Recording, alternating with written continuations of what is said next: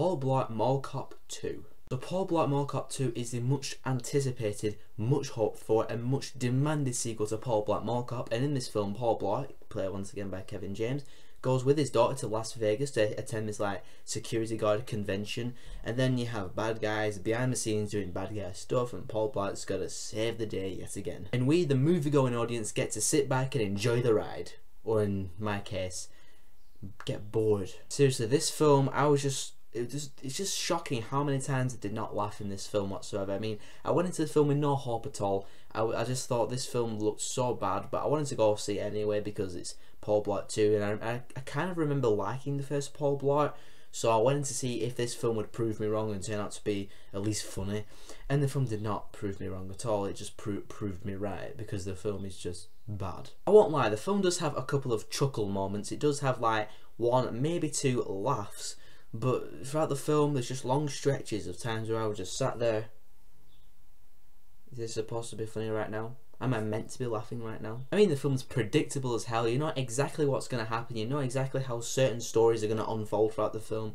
And the storylines in this film, like the main kind of storyline, besides from the whole criminal background stuff, is so cliched and so predictable. Like his daughter is like she's falling for this like towel boy or something at the hotel and she's like sneaking off to go see him and Kevin James is like trying to spy on her and he's being like a really overprotective dad.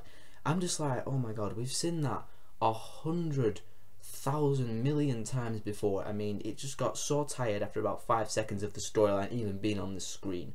So when you just see it, you're just gonna roll your eyes and go, oh my god, this for the billionth time. Bad guys in this film are just they're just expendable as hell. I mean, the main bad guy, he's not threatening whatsoever, and his only real threat to Paul Blart is kidnapping his daughter when she walks in on some kind of a meeting or something.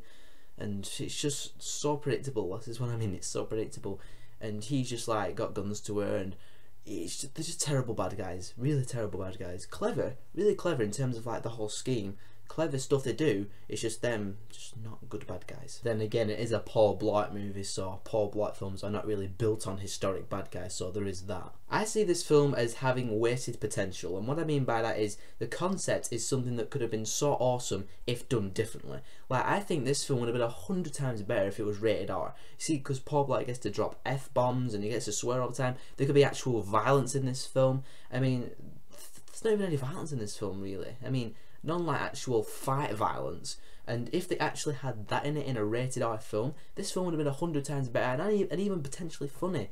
But instead, we get this PG film rated for families and people to go watch and be bored out of the red. I mean, in the cinema watching this was me and three other people, like a mum and her two children, and they laughed like very spaciously throughout the film. So I can't imagine they were too thrilled by the film. So I was just, I was just sat there like, mm, all credits, time to go. So in the end, Paul Blart 2, not funny. Don't waste your time with this film whatsoever. Save your money for the next couple of weeks for when the Avengers comes out because everyone's looking forward to the Avengers. Everyone's going to go see the Avengers and hopefully love it. So just save your money for the Avengers. I know I should have done, but I still get to go watch the Avengers. So just don't watch this film. It's not funny, cliched as hell, predictable, boring.